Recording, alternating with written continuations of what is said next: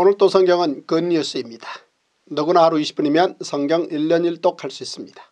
누구나 세상 예우 없이도 성경 이야기 충분히 재밌게 할 수 있습니다. 성경은 대충대충 공부할 책이 아닙니다. 성경은 예화주의, 요절주의, 권별주의를 극복하고 전체를 통으로 공부해야 할 유일한 책입니다. 먼저 오늘의 굿뉴스 창세기 15장에서 17장의 통섭 5가지 포인트입니다. 첫째, 이삭의 출생으로 하나님의 계획 모리아산 번제가 준비됩니다. 둘째, 창세기 15장의 약속은 출애굽기 1장에서 성취됩니다.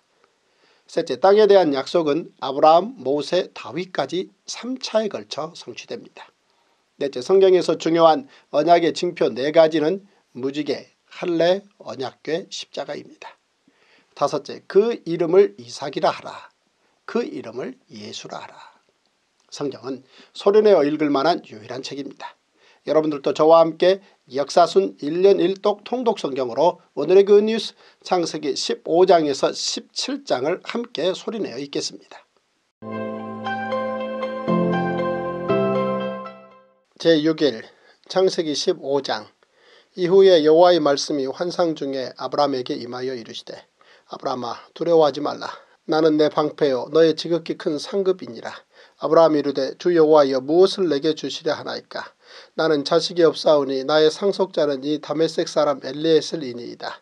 아브라함이 또 이르되 주께서 내게 씨를 주지 아니하셨으니 내 집에서 길린 자가 내 상속자가 될 것이니이다.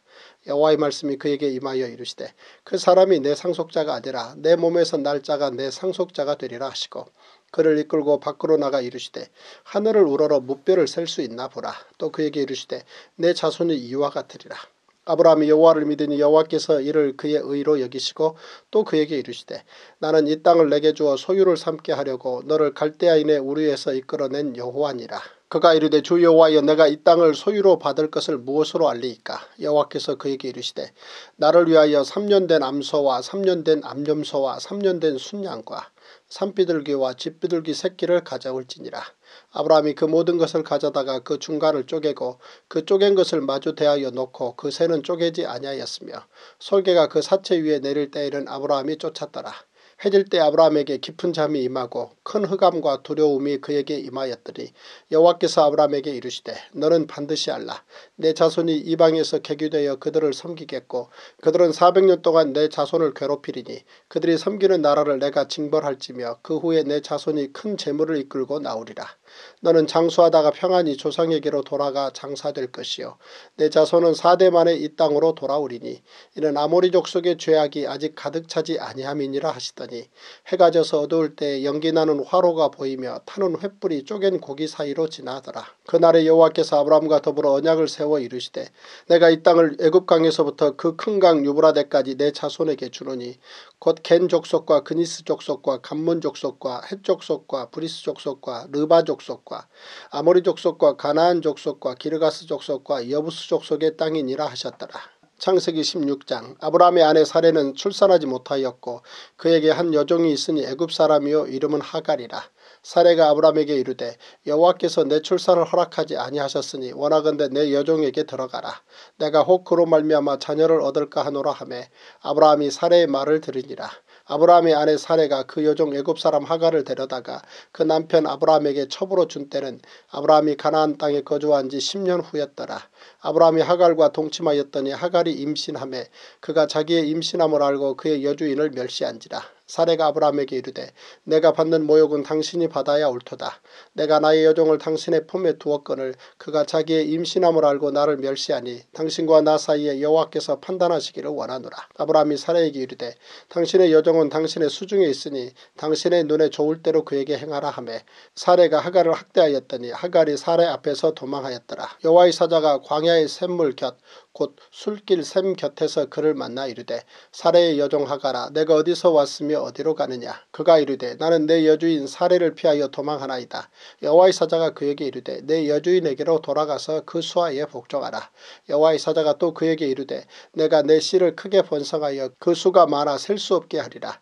여호와의 사자가 또 그에게 이르되 내가 임신하였은즉 아들을 낳으리니 그 이름을 이스마엘이라 하라. 이런 여호와께서 내 고통을 들으셨음이니라. 그가 사람 중에 돌 같이 되리니 그의 손이 모든 사람을 치겠고 모든 사람의 손이 그를 칠지며 그가 모든 형제와 대항해서 살리라 하니라. 하갈이 자기에게 이르신 여호와의 이름을 나를 살피시는 하나님이라 하였으니 이는 내가 어떻게 여기서 나를 살피시는 하나님을 배웠는고 함이라. 이러므로 그 샘을 부엘라헤로이라 불렀으며 그것은 가데스와 베레 사이에 있더라. 하갈이 아브라함의 아들을 낳음에 아브라함이 하갈이 낳은 그 아들을 이름하여 이스마엘이라 하였더라. 하갈이 아브라함에게 이스마엘을 낳았을 때에 아브라함이 86세였더라. 창세기 17장 아브라함이 99세 때에 여호와께서 아브라함에게 나타나서 그에게 이르시되 나는 전능한 하나님이라. 너는 내 앞에서 행하여 완전하라. 내가 내 언약을 나와 너 사이에 두어 너를 크게 번성하게 하리라 하시니 아브라함이 엎드렸더니 하나님이 또 그에게 말씀하여 이르시되 보라 내 언약이 너와 함께 있으니 너는 여러 민족의 아버지가 될지라. 이제 후로는 내 이름을 아브라함이라 하지 아니하고 아브라함이라 하리니 이는 내가 너를 여러 민족의 아버지가 되게 함이니라. 내가 너로 심히 번성하게 하리니 내가 내게서 민족들이 나게 하며 왕들이 내게로부터 나오리라. 내가 내 언약을 나와 너 및 내 대대 후손 사이에 세워서 영원한 언약을 삼고 너와 내 후손의 하나님이 되리라. 내가 너와 내 후손에게 내가 거류하는 이 땅 곧 가나안 온 땅을 주어 영원한 기업이 되게 하고 나는 그들의 하나님이 되리라. 하나님이 또 아브라함에게 이르시되 그런즉 너는 내 언약을 지키고 내 후손도 대대로 지키라. 너희 중 남자는 다 할례를 받으라. 이것이 나와 너희와 너희 후손 사이에 지킬 내 언약이니라. 너희는 포피를 베어라. 이것이 나와 너희 사이의 언약의 표징이니라. 너희의 대대로 모든 남자는 집에서 난 자나 또는 너희 자손이 아니라 이방 사람에게서 돈으로 산 자를 막론하고 난 지 8일 만에 할례를 받을 것이라. 너희 집에서 난 자든지 너희 돈으로 산 자든지 할례를 받아야 하리니 이에 내 언약이 너희 살에 있어 영원한 언약이 되려니와 할례를 받지 아니한 남자 곧 그 포피를 베지 아니한 자는 백성 중에서 끊어지리니 그가 내 언약을 배반하였음이니라. 하나님이 또 아브라함에게 이르시되 내 안에 사례는 이름을 사례라 하지 말고 사라라 하라. 내가 그에게 복을 주어 그가 내게 아들을 낳아주게 하며 내가 그에게 복을 주어 그를 여러 민족의 어머니가 되게 하리니 민족의 여러 왕이 그에게서 나리라.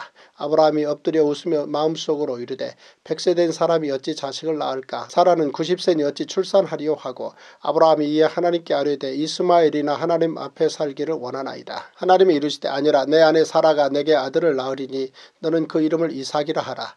내가 그와 내 언약을 세우리니 그의 후손에게 영원한 언약이 되리라.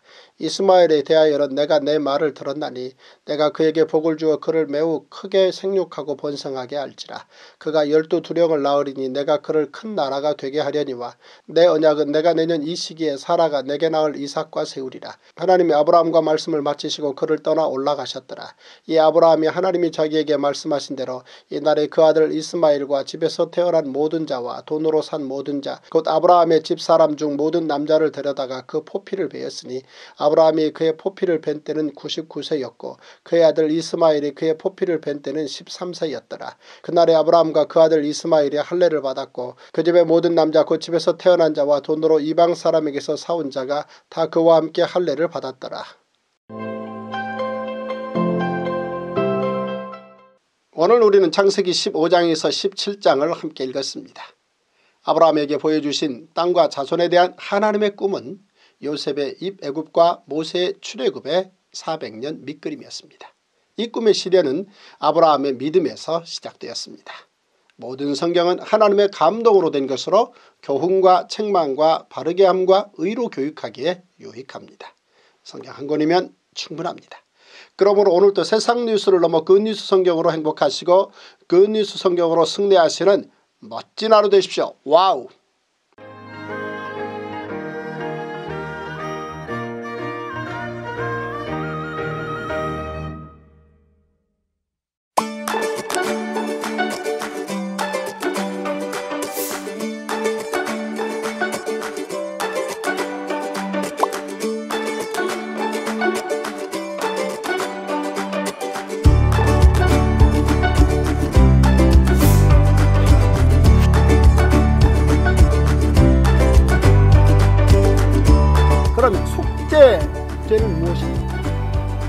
그 다음 용서를 받고 그 다음에 회복이 되는 이런 놀라운 제사가 바로 이 속죄제입니다.